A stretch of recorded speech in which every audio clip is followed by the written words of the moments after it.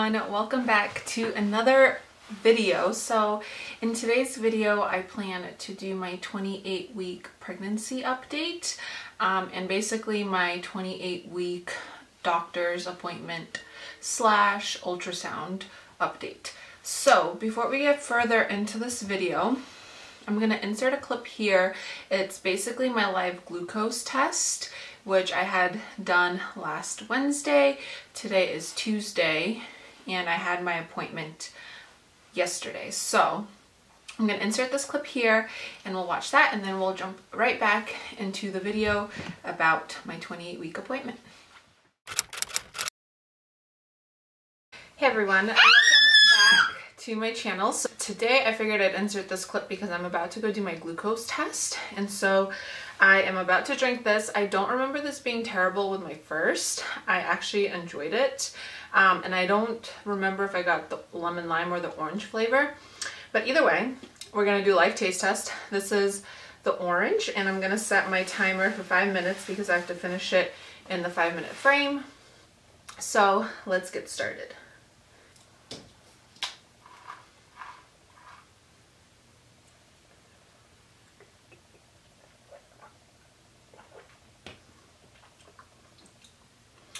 So it's not bad at all. It's very sweet, it has 50 grams of sugar. So not bad though.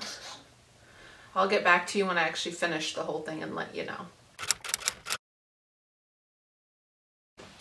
Okay, so I just finished it. I have a minute to spare. Honestly, it's not that bad um, at all. I feel like people are a bit dramatic about it. It kind of does like get a little like bitter tasting toward the end because it is so sweet. And I'm so full from drinking so much of it but it's honestly not bad at all guys. Like it's so doable.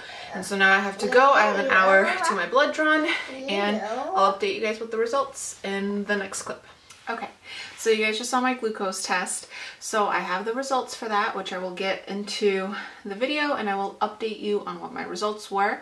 Um, but I also do want to just say that the glucose test is not that bad. Um, I've never done the three hour one yet or I've never done the three hour um, so I don't know if that's like much worse but the one hour glucose test is honestly not that bad the drink tastes like an orange soda without the carbonation. It is a little too sweet toward the end, but it's so doable and don't be afraid if you have to do it. Um, so let's jump into the pregnancy update. Because I have quite a few things to go over and this is also kind of going to be somewhat related back to having a bicornuate uterus. And if you watched any of my earlier pregnancy updates you will know that I had a lot of issues in my first trimester. So now that I'm officially in my third trimester let's jump in to my updates. First things first is I did pass my glucose test. Um, I was super relieved because I was so nervous um, to not have passed it and I guess it has to do mostly because I've been craving sweets so much this pregnancy and I know a lot of it is genetic and I know a lot of it is based on family history um, but nonetheless I was super nervous because I have just had a sweet tooth I passed it and so my number was 105 and with my doctor if it's under 135 um, you are in the clear so I was well below that number. Um, so in my appointment yesterday I first had my ultrasound and my appointment after and the reason why I'm getting ultrasounds now every four weeks is due to my bicornuate uterus and they basically monitor for growth and IUGR which is um, what I had with my first one and that stands for intrauterine growth restriction. So that's very common in people with bicornuate uteruses because the baby has only basically half a side to grow in and so it sometimes can make the baby smaller. So my ultrasound looked relatively well um, considering this is what this was like my first growth scan so there was nothing much that they could compare it to. I go back at 32 weeks now and then they'll have something to compare it to from the 28 week to the 32 but basically the baby was measuring a week behind so it was about 27 weeks um, and it put it at like a 10 to 12 percent like 10 to the 12th percentile for measurements um, so it is a small baby right now and it weighs approximately they said two pounds and 10 ounces. But as far as measuring like the femur and the belly and all that the baby was kind of on average measuring a week behind as far as the body. But the head was actually measuring like five weeks ahead. So the head was measuring at 33 weeks, um, which puts it above the 99th percentile. So I'm hoping that either means that the body will catch up to the head or I don't really know what else I can hope for other than that. I've not, I didn't have this with my first one, so I'm not really sure why the head is so large. Um, everything as far as the scan looked good so I'm assuming that there's no issues or anything wrong with like the brain or the head or anything like that but yeah that's just basically the synopsis of how big the baby was and what it was measuring at and the percentiles for that.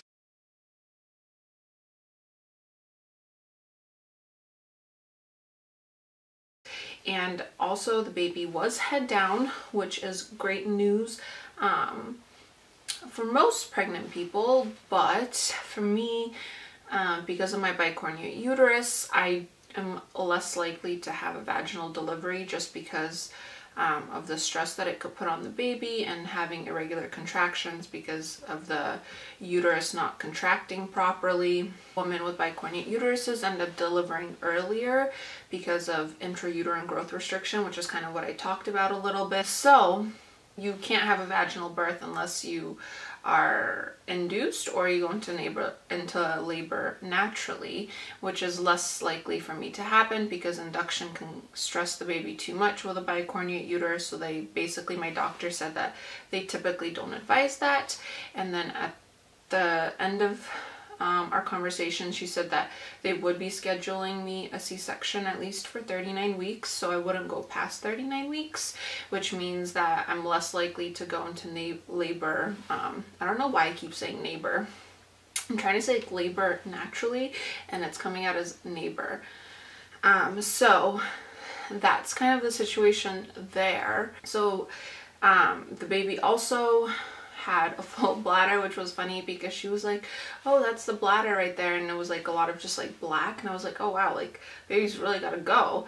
And she's like, yeah, but that's a good sign. The kidneys are working and all this. So it was just funny that the baby like hadn't relieved itself yet. So the bladder was like super full. After that, I basically went into my doctor's appointment and they kind of confirmed that the ultrasound re looked relatively good. Um, there's nothing to be too concerned about as of now. And that is when I basically, we went and talked about like any concerns, any issues. Um, and during this appointment, I also got my Ro another RhoGAM shot. If you're not familiar with a RhoGAM shot, it's basically when you're O negative and the baby is positive for the blood type so then I don't build antibodies against the baby if that makes sense. So a RhoGAM shot alleviates that during delivery and stuff. And then basically she just told me that my glucose test came back good and my blood pressure looks good, my weight looks good, like there was no concerns whatsoever as far as me or the baby in general. Um, but then this is kind of where things went a little south um, or unexpected. They listened to the heartbeat at the ultrasound or they just like played a little clip of it and it was 137 beats per minute which is very normal, very standard. There was like um, no concern with that whatsoever. When I went into my appointment, um, the nurse practitioner ended up doing just a Doppler on my belly just to hear the heart rate and just kind of to listen to it for a little while and apparently she didn't like what she heard because the heart rate dropped to 115 at one point. And she was certain that that was not my heart rate so it wasn't picking up my um, pulse. So she got a little nervous um, because she wasn't sure what the baseline for the baby was so basically after that it kind of became a little chaotic because now you're they weren't happy with how the baby's heart was beating so she ended up having me go in to get a stress test Um, they also call it the NST test. If you are not familiar with that, it's basically where they hook you up to a monitor and they put like a thing around your belly. It's kind of like um, a machine that also like if you've seen like the contraction machines, that type of thing, it basically monitors the baby's heart rate and if you have any kind of contractions at any point. Obviously, I'm not having contractions at this point. Um, I'm not having even Braxton Hicks really, only occasionally, but at the time of the appointment I wasn't having contractions or Braxton Hicks or anything of that sort. So they hooked me up to the monitor and I was probably there for 30 minutes just on the screen and basically they leave you in a room by yourself and they just have you listen, they just listen to the baby's heart rate repeatedly.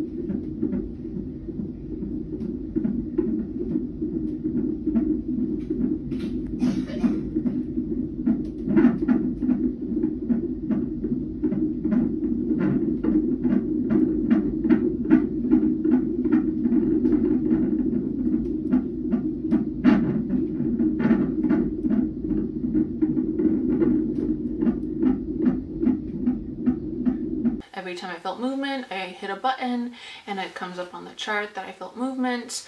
Um, so the baby's heart rate was averaging like in the 120s, 130s, and then a couple times it had dropped to like the 80s, um, which as soon as I saw the heart rate drop to the 80s, obviously my heart rate spiked and occasionally it was almost like with the baby moving and stuff it seemed as if the monitor that was on my belly as the baby moved started to pick up on my heart rate because I started I was like in the 90s by the point where the first time I felt I heard the baby's heart rate drop to like 89 and I was like that's not good because I had a similar situation happen with my first one and I had to be um, taken to labor and delivery and we literally had her that night. So I was super like nervous and anxious because obviously I'm only 28 weeks. Like I am not like this baby's not ready to be born. Pretty certain that a couple times it was the baby's heart rate.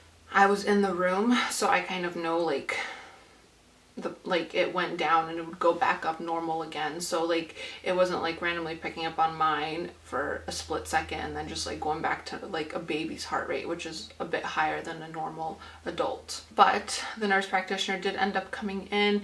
She kind of looked over it and she said that she was fairly happy with what she was seeing because there was a good amount of movement. Like the baby was pretty active that whole 30 minutes. Um, and also the there were like spikes which I guess they like to see fluctuation. They don't want to just see like a flat line because then that means the baby's like not very active or doing anything at all which can almost mean that the baby's in more stress. So they basically sent me home um, and they were going to give the results to my actual doctor because she was in a procedure so she wasn't in at the moment to look it over herself. And they said that they would call me if they were concerned or if anything was wrong. Um, I have not gotten a call back so I'm assuming either everything looks they're like content with everything. I was super bummed like it was I like I cried multiple times yesterday just because I was it just hit like too close to home with my first one because my first one it was basically the stress test that sent us to the hospital. And there were obviously a lot of other complications that came along with that but I was also further along. I was 36 weeks. It really made me realize I really need to get things together in this home. And I think with the second baby everyone's like that. Like you just feel like you don't you'll wait till the last minute to get everything done and I think this was like a kick in the butt to be like okay well anything can happen at any moment in time especially because I have a history of it with my first one and I do have a bicornuate uterus so you're more likely to face more issues in the third trimester as far as the, the baby's growth and development and everything like that. My next appointment is at 32 weeks um, which is going to be the ultrasound and the appointment like a doctor's appointment again. I do want to say that Um, I did go to the store today and I bought these cute swaddles. I think they're so pretty. Um, they're like a little green with a little animal and stuff on it. I think they're so adorable and I was kind of excited because we are not finding out the gender so um, I kind of have to get a few more like gender neutral things and we love greens and stuff. Like greens are one of our favorite colors. So I decided to just get that. Yeah, so that's kind of my update. Um, I hope this it's not too sad or depressing because it really isn't. Like so far the baby looks good. It just made me realize that things can happen a lot sooner than expected. So, hope you guys enjoyed this video. Here's my little bump. She said I am measuring um, she said I am measuring at 28 weeks basically like my this part is measuring right on track so the baby is measuring or the belly's measuring right on pace with the 28 week mark so I love you guys. Thank you for watching this video. I hope it's not too long, but I did want to just update you guys on everything. And I will see you in my next update.